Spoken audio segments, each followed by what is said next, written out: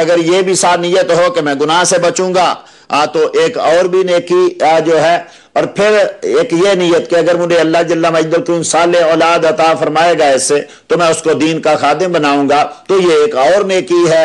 आ, तो फिर इस से यह भी नीयत की जाए कि मेरी नज़रें जो हैं अब वो इस वजह से झुक जाएँगी। तो ये एक और नेकी है। तो अपनी बीवी के पास जाने में तो जितनी आप नीयतें करते जाएँगे नेकियाँ भरती ही जाएँगी और फिर उसके आप हकूक भी अदा कर रहे हैं। ये एक और नेकी है। तो ईद हो या कोई और दिन हो जब कोई शरी या तभी उजर ना हो चूँकि ईद होना कोई शरी उजर नहीं है। खुशी का दिन है। तो लिहाजा उसमें बीवी के पास जाने में शरी तौर पर कोई हरज नहीं है।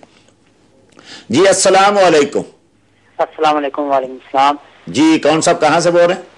आ, मैं सुजात बात कर रहा हूँ लंदन से। जी, जी। मेरा एक क्वेश्चन था जी। कि मेरे चार आ, मतलब चचा थे हम्म। ठीक है?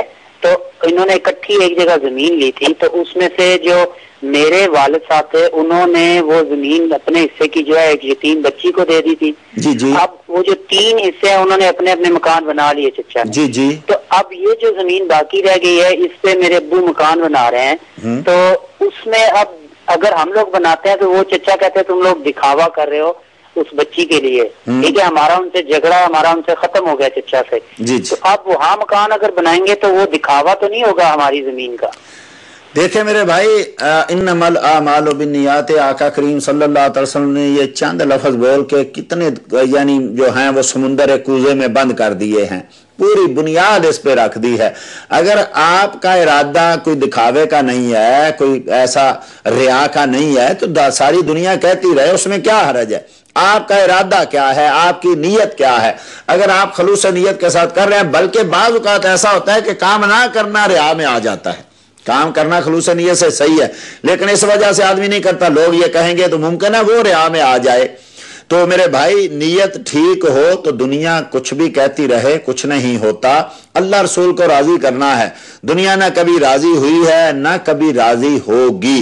तो जिसने अल्लाह रसूल को राज़ी करने की नीयत की इनशाला अल्लाह रसूल राज़ी हो गए तो रब राज़ी तो सारा जग राज़ी। फिर किसी के कोई नाराज़गी का कोई यानी कोई खतरा हो भी तो उसका कोई लिहाज नहीं करना चाहिए। आप खलूस नीयत से उसको बनाएँ यतीम बच्ची को दें इंशाल्लाह उसमें कोई रिया वाला मसला नहीं होगा। जी अस्सलाम वालेकुम। वालेकुम अस्सलाम। क्या हाल है मुफ्ती साहब? जी करम आप सुनाए। अल्लाह का शुक्र है मैं सऊदी अरब रियाद से बोल रहा हूँ जी। अच्छा जी। एक तो मेरा नमाज़ के बारे में सवाल था और एक ये सवाल था कि जो ये कवालियाँ होती हैं इसमें सात सूज चलते हैं और साथ में अल्लाह और नबी के नाम लिए जाते हैं। जी जी। तो ये कहाँ तक जायज़ है और कहाँ तक नाजायज है सुनना? अच्छा जी। और दूसरा नमाज़ के बारे में जरा अच्छा सा मशवरा दे दीजिए कि जिनकी कजा नमाजें हो जाती हैं वो क्या करें इसके जी। बारे में? जी, बड़ी मेहरबानी मेरे भाई। कजा नमाजों को तो बहरहाल अदा करना ही है, वो फ़र्ज़ हैं, उनको अदा करना है। कैसे अदा करना है? चाहे तो आप, अगर आपके पास वक़्त है और ताकत है तो जितनी कजा हैं उनको एक बार कर लें, जितने आप वक़्त लगा लें। अगर नहीं है तो रोज की एक एक पढ़ते जाएँ, दो दो पढ़ते जाएँ। अगर ये भी नहीं तो फिर हर नमाज़ के साथ एक नमाज़ को जो उसी वक्त मसल ज़ोर पड़ी तो एक ज़ोर जो पहले सबसे कजा हुई, उसको कजा कर लिया, असर पड़ी तो फिर असर की नमाज़ जो कजा हुई वो, मगर ऐसे ही ताकि जो है वो यानी बोझ भी ना बने और नमाज़ होती भी जाए। बाज़ औक़ात ऐसा होता है कि आदमी नवाफल पढ़ता है नवाफल की बजाय अगर कोई पिछली कजा पढ़ ले तो वो बहुत बेहतर है। लेकिन अगर नवाफल भी पढ़े और कजा भी पढ़े तो ये उससे भी बेहतर है। तो मेरे भाई इस तरीके से नमाजों को अदा करना चाहिए। अब कवालियों में तो आपको पता है कि कवाली का मसला जो है वो असहाब तसव्वुफ में कुछ इख्तलाफ ही है।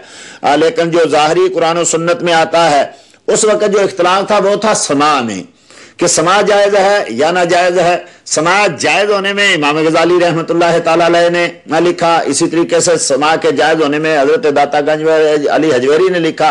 और किताब समा इमाम मकदसी ने एक पूरी किताब लिखी है।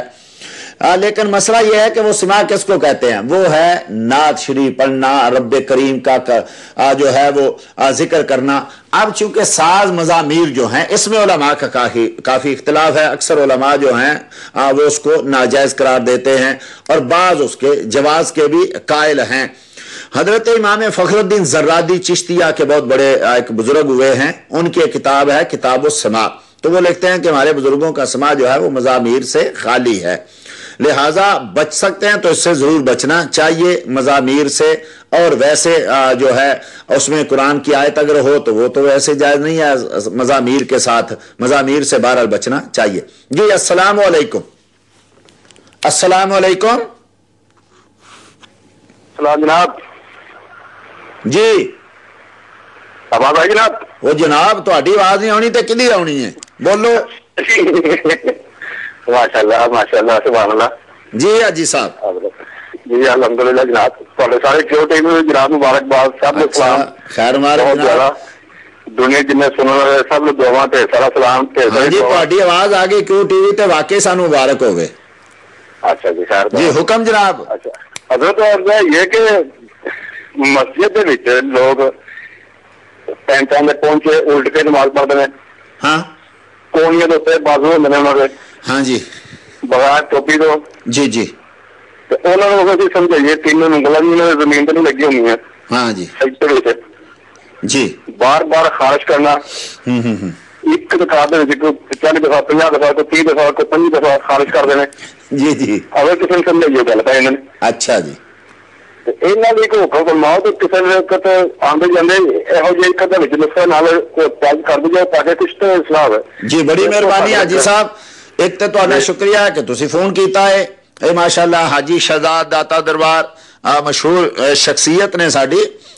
नैट के उत्ते माशाला तशील लिया होंगे हम तो मैं बड़ा ऐलान कर दिता लेकिन चूँकि पता नहीं कि हाजी साहब का फ़ोन आ रहा है लेकिन पहले मैं दोस्तों दस दिता कि बाद बा मुलाहजा होशियार के किबलाज साहब वेखो माशाला कितने अच्छे सवाल आत ने एक मैं भी पंजाबी में लग पड़ा तो बहुत सारे दोस्त हमारे पंजाबी चूँकि नहीं जानते और हाजी साहब उर्दू बोलते नहीं है, इनको पंजाबी से इतना प्यार है।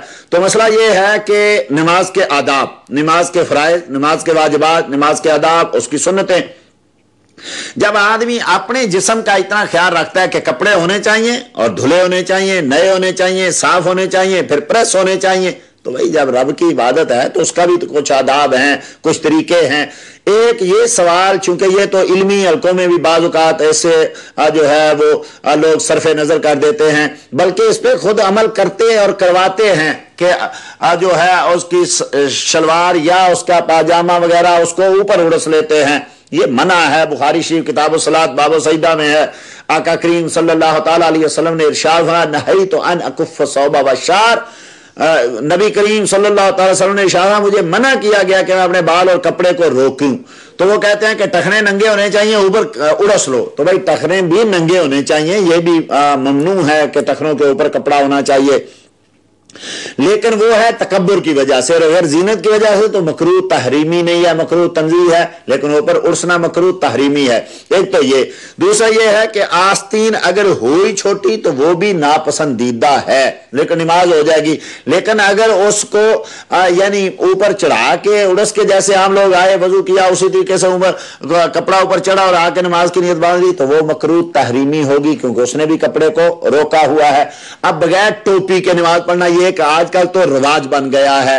आजकल एक ये भी एक लोगों का यानी एक मशगला बन गया है कि वो नंगे से नमाज़ पढ़ते हैं उनके बालों की जो वो सेटिंग की हुई है उनको खराब होने का खदशा होता है। तो मेरे भाई पहले तीन मसले हैं जो आ, हमारी कुतुब फिका में लिखे हुए हैं। पहले नंबर पे तो ये बात कि नबी करीम सल्लल्लाहु अलैहि वसल्लम ने सवाए हज के मौके पे कभी पूरी ज़िंदगी एक नमाज़ भी बगैर इमाम शरीफ के नहीं पढ़ी, यानी नंगे सर, एक भी नमाज़ पूरी ज़िंदगी में नहीं पढ़ी, स्वाय हज के। दूसरे नंबर पे मसला यह है कि क्यों पढ़ी जाती है? या तो उलमा ने यह लिखा कि रब करीम की बारगाह में आदमी अपने आप को इतना जरीलो खार समझता है, इतना हकीर समझता है कि वो नंगे सर नमाज़ पढ़ा, कपड़ा तक नहीं सर पे रखता तो ये एक अलहदा मसला है। वो उसकी अपने आप को हकीर समझना वो जायज़ है। एक ये है कि कोई मजबूरी है, कपड़ा है ही नहीं है। या है, वो इस काबिल नहीं है कि उसको इस्तेमाल किया जाए, तब भी हो जाएगी। एक ये है जैसे आजकल हो रहा है कि इसकी क्या ज़रूरत है? ये तो कोई वजह ही नहीं है। अब कपड़ा क्यों रखे? तो नमाज़ को हल्का समझते हुए तो इस पे तो बाज ने, हमारे उलमा ने कुफर तक का फतवा भी दिया कि नमाज़ को हल्का समझना। तो नंगे सा नमाज़ पढ़ना एक तो बाद